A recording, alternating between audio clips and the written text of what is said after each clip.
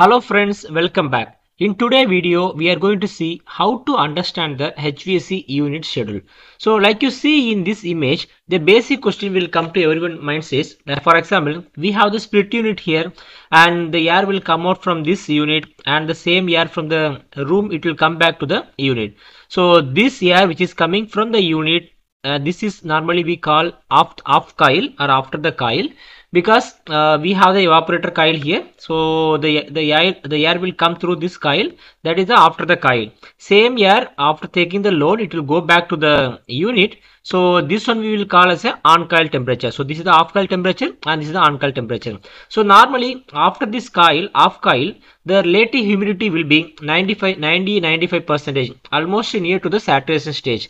But the for the comfort condition in the room we need the rh or the relative humidity 50 to 60 percentage. So the coil comes out with a very high relative humidity of 90 95 percentage but we need in the room of 50 to 60 percentage rh so how this is possible in the hvac system so we will see how to understand this one properly. And in addition to that one we are going to see the uh, technical parameters uh, how this each parameters are coming. Like uh, in HVAC system there is a basic term basic technical parameters for all the unit like in split unit FCU or AHU FHU whatever the unit we go. We normally can see these type of important parameters like total cooling load sensible cooling load airflow on coil temperature. Entering air means always the on coil temperature. Entering air dry bulb wet bulb temperature. And uh, we can here it is not given like off coil temperature dry bulb wet bulb that also we will see. And the ambient temperature selection of ambient temperature given. It is based on the dubai.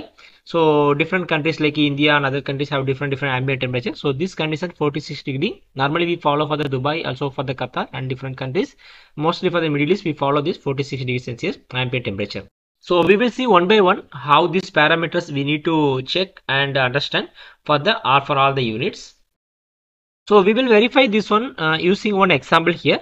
So first you can see this temperature what I have shown here is the on coil temperature 24 by 17. So here in our schedule like you see here we have given on coil temperature for the different split unit 24 by 17 the constant temperature they have followed for all the unit. So this is applying to normal office building. So they have followed 24 by 17 the 24 dry bulb and 70 degree wet bulb temperature for all the office building. So like you see here in this image this is the online psychrometry chart I have taken here.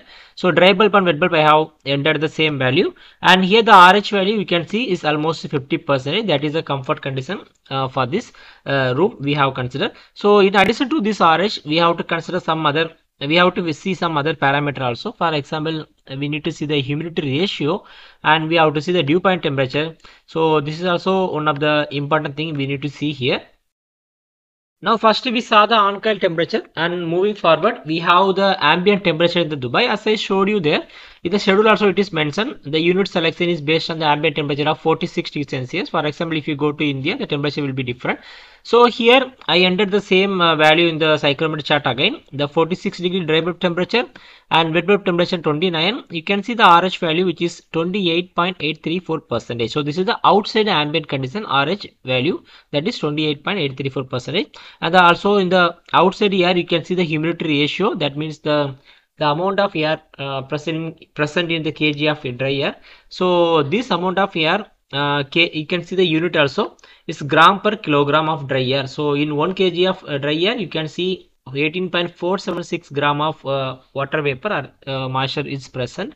So this value is 18.476 this is for the outside air now we we saw earlier the on coil. Now one more term also we need to see that is the off coil temperature. So after the coil i mean the off coil what is the temperature we have here for this uh, uh, this unit? That is 12.8 and uh, 12.34 so this for this this value also we have considered the uh, we have entered the same thing. For example dry bulb and RH so RH why I have taken 95 percentage here? So normally after the coil uh, in the coil proper uh, dehumidification will happen. So after the coil normally this RH will go near to 90 to 95 percentage. I mean the near to the saturation uh, limit. For example if you see here so this is the saturation uh, code means it is almost very near to the saturation limit. I mean 95 percent is very near to the saturation limit. So when at this condition the uh, dry bulb will be almost equal to wet bulb. So when wet bulb is near to the dry bulb the rh will be very high and the humidity ratio will be low. So here you can see the humidity ratio. It is 8.777 so earlier you can see what i have entered here 24 and 70 degrees Celsius, the humidity ratio is 9.27, uh, 9.27 and for the off coil temperature it is 8.777 and same if you go to the the ambient temperature the humidity ratio is 18.476 so the moisture content or water vapor content you can understand from different temperatures the three different temperature we have shown. Now this is the comparison. So you can easily understand first this one so outdoor temperature i have given the rh percentage and humidity ratio then indoor temperature i mean the on temperature then we have shown the coil temperature. So three different uh, terms i have shown for the comparison. So after the coil what happened? The rh is high. So moisture content content is low. Moisture carrying content is low because why? Already the air is very near to the saturation limit. So it it, it cannot carry more water vapor in the air. So the moisture content is very low after the coil i mean off coil so what we need to understand first here, the cold air carries a less moisture humidity ratio than warm air. Like you see the after the coil that is the cold air. The moisture carrying capacity of air drops when the temperature drops. So this is what you saw now. 46, 46 degrees Celsius ambient temperature, the humidity ratio was very high. After that we saw the 24 degree dry bulb temperature, I mean the on coil. It was uh, little bit low. Then again after temperature, again it was very low. So when the temperature drops continuously, the um, humidity ratio also drops. So off coil, after the coil, air with a high RH will come after the coil and low temperature enters into the room to remove the heat and moisture from room. So this one now we are going to understand very clearly this one. So in order to understand this basic and the uh, very important thing, we need to know one important term here, sensible heat ratio. So sensible heat ratio is a very simply saying that sensible heat ratio is expressed in percentage and it is calculated by dividing the sensible heat by total heat. So SHR 80 percentage means sensible heat is 80 percentage and the total heat while the other 20 percentage is the latent heat. For example, sensible heat ratio is equal to sensible heat divided by total heat. So this is the very important thing when we go for the uh, coil selection and this thing. So this will decide uh, what is the exact uh, thing we need to consider for the coil.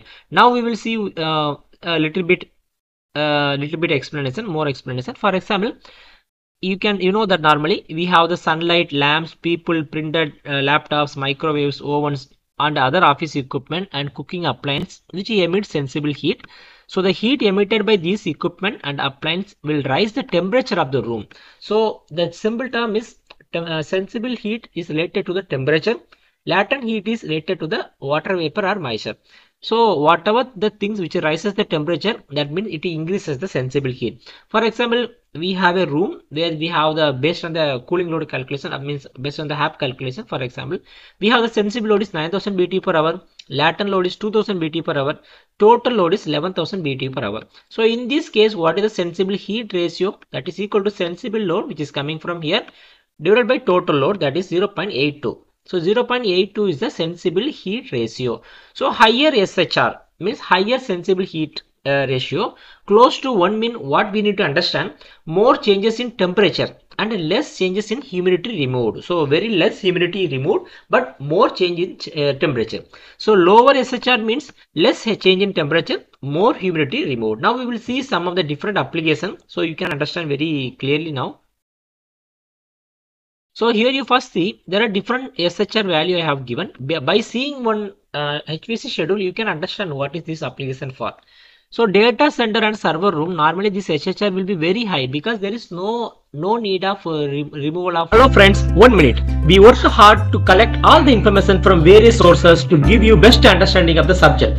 Most of the people watch the video but they don't subscribe. Please motivate us by subscribing our channel to post more and more technical videos for you. Thank you uh, water vapor or moisture only the sensible heat has to be removed from the data center. So that's why this SHR is very high almost to 1 you can expect. Office's room is a moderate load will be there 0.8 to 0 you can say 0.8 to 9 because more amount of sensible load we have to remove from the office small amount of latent load we have to remove and classroom also the same range conference room. So like one by one i have given. And the last one if you see the swimming pool it is 0.5 to 0 0.6 that means um, the humidity is playing a very important role in the swimming pool. So that's the reason the shr value is very low. Okay so this is the first understanding. So now we will come to our uh, hvc unit schedule to see what is there in our application. For example in our case you can see here in our application sensible load is uh, let's say the first unit. Sensible load is 2.07 and total load is 2.91 so we will we can see what is uh, this value coming. 2.07 divided by 2.91 that means 0.711 so uh, you can understand the the concept here. The sensible heat ratio is 0.71 so that means 71 percentage sensible load and only balance 29 percentage latent load is contributing uh, that has to be removed by the cooling coil so more uh, focus is on the sensible load we have to consider so I think this calculator you couldn't see. So I'll just to show you again. So it is 0.711. That means 71 uh, percentage sensible load and balance 29 percentage latent load has to be removed by the cooling coil. Now we will see one example uh, how to uh, verify this uh, sensible load. For example, here we have given the first unit 2.07 uh, kilowatt is the sensible load. So uh, 150 liter per second is the total airflow. Using this value, now we can verify uh, whether the load value is correctly given or not. So we have to know one formula, the basic formula Q is equal to mCp delta T. And uh, here we need to we need to consider some of the parameters. First, we need to consider the density of air at 20 degrees Celsius. That is 1.204 kilogram per meter cube. Mass is the air flow that is that should be in meter cube per second. Cp is the specific heat of air that is 1.006 kilojoule per kilogram degree Celsius. Delta T on coil dry bulb minus off coil dry bulb. So here the on coil in our application we have considered 24 degree Celsius that is for the office building. So on coil we know for the off coil it is given uh, it is given like 12.6 degrees Celsius. So here coil is not given, but you know how to find out the coil temperature. The basic term we need to understand from the cooling coil. Cooling coil, cooling coil has to remove the water vapor as well as the temperature uh, from the which is coming from the room. So the the cooling coil coil temperature, you know the the basic term dew point temperature. So dew point is a what? Dew point is a temperature where the uh, where the air begins to condense.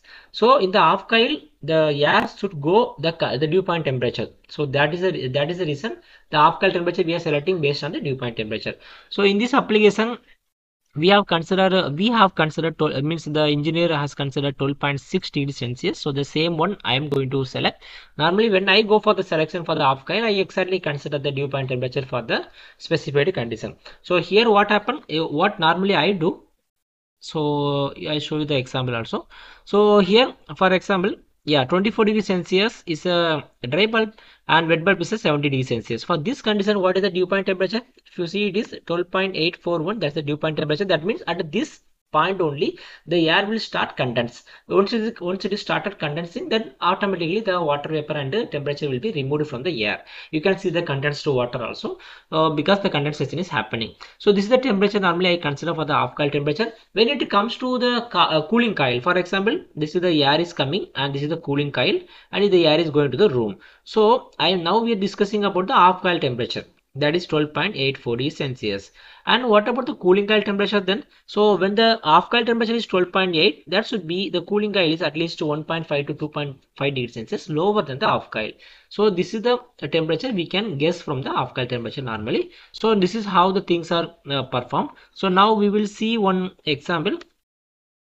So like I showed here, yeah, like I showed here, you can see density of air I have given air flow rate in our case it is 150 liter per second. I need to convert in meter cube per second. So 150 liter per second i just divided by 1000 so it is 0.14 multiply with 1.204 i have taken from here.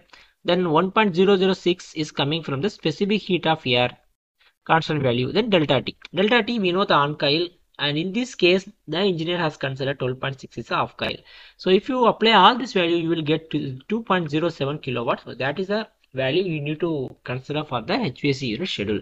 So now we understand how these uh, technical parameters are coming. So we will see one more important terms also. For example, I open here one uh, one unit schedule HVAC unit the carrier is the manufacturer and when we go for the selection the first very important thing what we need to see is the T1 and T3 condition So the T1 condition they have given the outside air temperature they have considered 35 degrees Celsius dry bulb. So T3 condition they have given the outer air temperature they have considered 46 degree bulb. So the T1 and T3 the both value will vary. It will not be same. For example, if you see this the top side unit, for example rating capacity T1 and rating capacity T3. If you see a 1 2 ton unit, the 2 ton unit at uh, T1 condition it is 25,000 BTU per hour but when it comes to T3 condition it is 22,000 BTU per hour. So in our case for example this is the Middle East project I showed you we need to consider the T3 condition because that is the 46 degrees Celsius temperature. So we need to consider all the unit selection based on the T3 condition not the T1 condition. So, uh, so finally, I hope you understand uh, how to identify the uncoil, off coil, uh, total cooling load and the sensible cooling load we evaluated based on the formula and the unit selection also. So once this is done, then you need to match the airflow rate. So airflow rate normally given at this point. So airflow rate uh, here it is given the CFM. The selection will be always based on the medium. We should not go with the higher, uh, high and low. Always the medium uh, should be matched. So you can verify the exact amount of airflow where it is matching and uh, similar to that one you can verify the total cooling load also. And following these two terms you can select the split unit. So i hope you can uh, you are clearly um, understood what uh, we are discussing so far. So if you have any doubt please add your comment in the comment section. Thank you